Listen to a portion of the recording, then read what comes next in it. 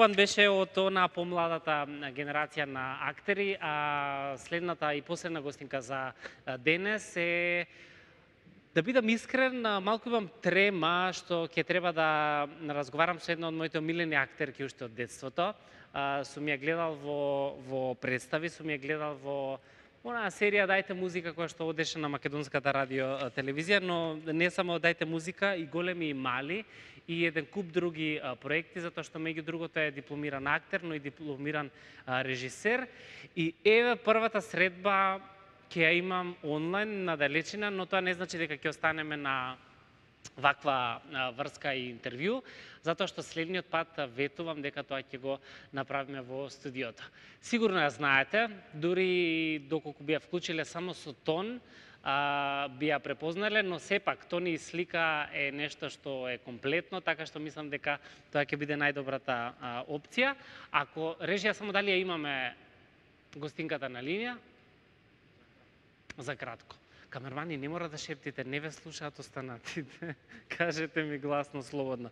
Ако ја вклучуваме за кратко, сакав само да ви покажам а, еден момент кој што денеска а, се објави на социјалните мрежи, а тоа е како Турција меѓу другото ги заштитува своите граѓани, односно ова е тунел за дезинфекција.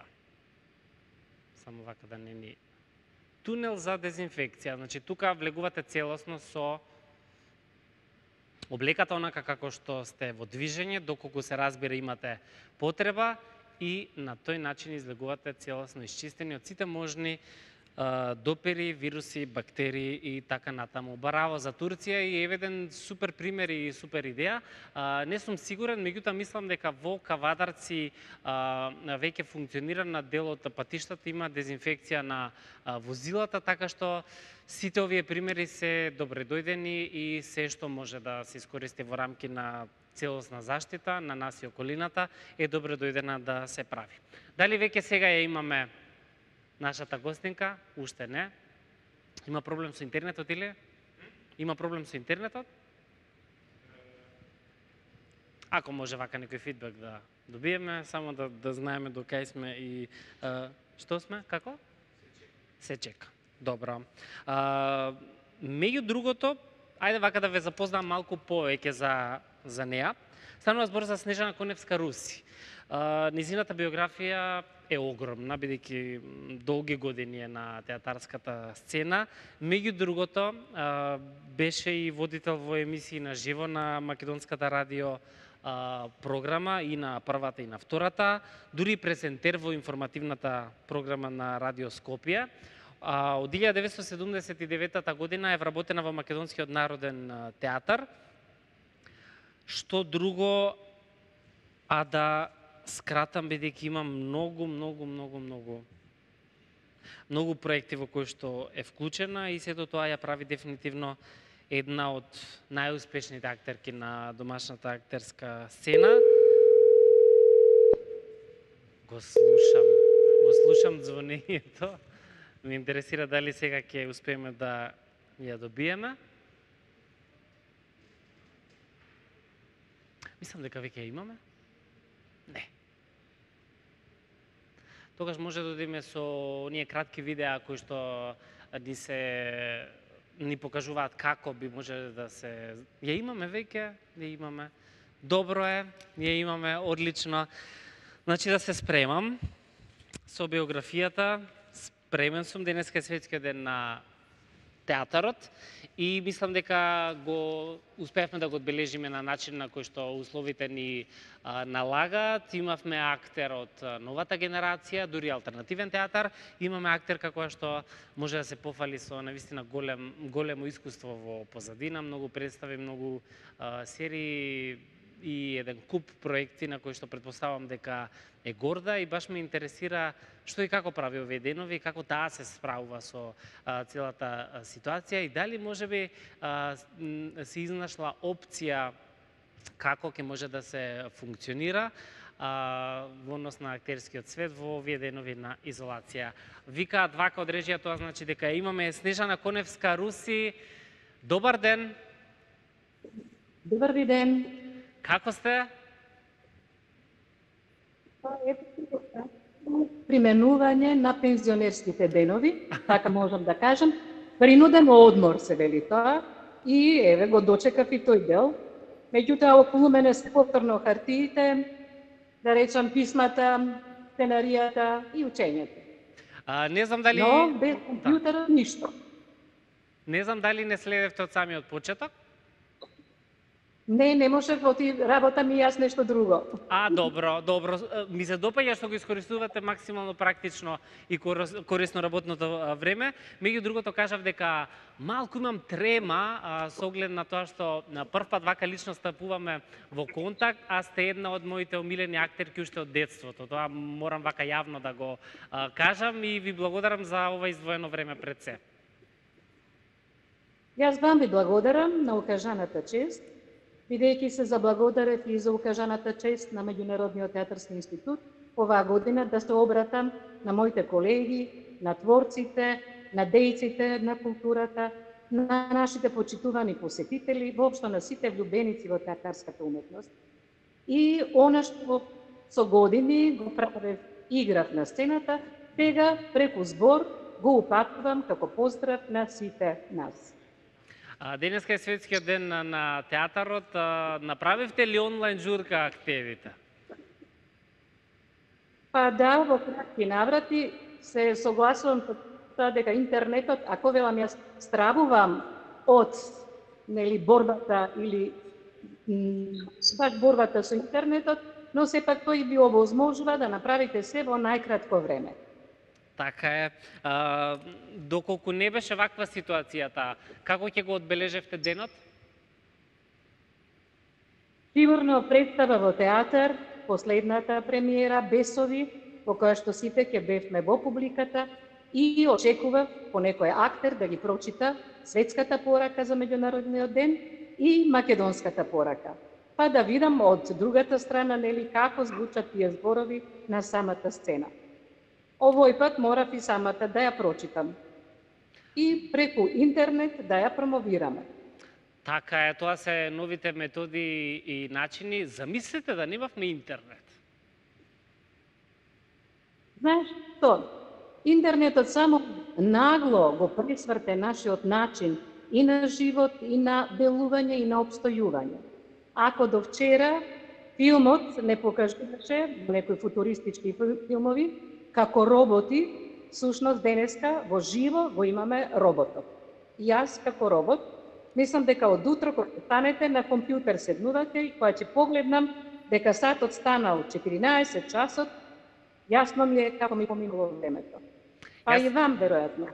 Апсолутно. Ја, јас и во самата предходна најава за разговорот со вас кажав дека ништо, ама апсолутно ништо не може да го да го замени театарот бидејќи на жива материја и тоа е единственото нешто каде на иста представа доколку ја гледате неколку пати, секогаш ќе ви биде со нови моменти. Предпоставам дека се согласувате и баш поради оваа причина театарот постои и треба да да постои, а културата на луѓето за посета само да биде на што повисоко ниво. Добро, сите, сите очекувавме оваа промена, на времиња и на ера, да кажеме, меѓутоа мене само ме поразува податокот дека со тоа се отуѓуваме буквално. Ова проблемот што јас не можам да ги видам твоите очи, за мене е веројатно најголемот проблем. Бидејќи тука е вистината, во зборот го откриваме подтекстот ние актерите, а сите луѓе во очите си ја откриваме вистината. А, што правите деновиве, како го користите времето? Добив информација дека сте многу практична и дека секогаш умешно се справувате со секоја ситуација. Па еве конкретно веќе имам позив на WhatsApp со работа со СНОНК, Синдикатот за наука, култура и образование. Веќе исто така преку интернет комуницираме и ги одржуваме нашите состаноци А другиот дел од денот малку и за образованието, бидејќи така имам и јас некои внуци на кои што им е потребна помош. Родителите не стаскуваат те со оваа програма и веднаш забележат дека е огромна, дека многу задачи добиваат и да видиме како ќе се справиме и со тоа. А, порано имавме можност да уживаме во во многу представи, а, многу емисии кои што се правеа и за деца и така натаму на самите телевизии. Денеска тоа се помалку го има, речи си да не постои. Како човек искусен кој што цело време, цел живот се занимавал со оваа актерска работа, недостасува ли такво нешто кај на себе кога станува збор за помалите деца, па и овие големите деца? Недостасува многу, меѓутоа овој потек сега што е направен на Македонската радиотелевизија, што го имаме, е еден чекор мал во однос на тоа да ги развиеме децата тие моменти, да не биде се, се сведено на мобилен, и на интернет, ами напротив да има и малку практична настава. Многу одиграни улоги а, во различни проекти. Ме интересира вака кога ќе се навратите години години наназад, има ли улога која што се уште ви е број еден? Тоа е тешко да одделите, како кога некого ќе прашате од родителите кое дете ви е нели подраго. Да. Така и таму. Секоја улога во еден одреден временски период била главна, во смисла сте биле окупирани само со онија и ништо повеќе, за потоа новата да ви направи поголем предизвик и поголема емотивна состојба и се останато. Но, веројатно, има задачи кои што ги одвојувате како посебни. Јас едноставно режисерите пак ќе ги одвојам, ќе ги одвојам моите професори, затоа што тие направиле од мене она што сум денес. А, има ли доволно талентирани актери кои што оваа ваша фантастична актерска генерација ќе доследно ќе ја замени? Мислам дека има.